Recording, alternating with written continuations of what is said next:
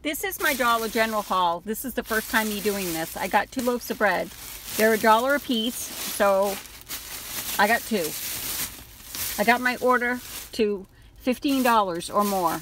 I went through and my digital coupons were not there, so I returned everything and redid it. These U by Kotex, this is a 16 count. We have a dollar coupon making them free. I have one, two,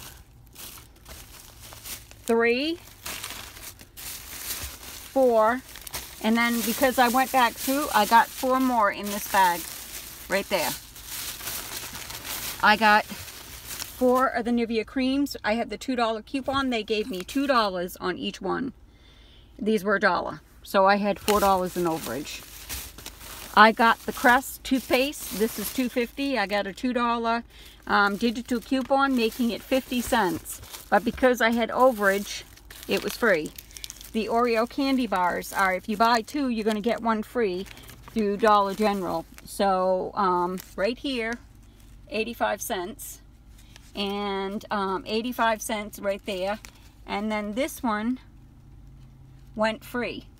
So with Ibotta you can get back a dollar fifty when you buy three.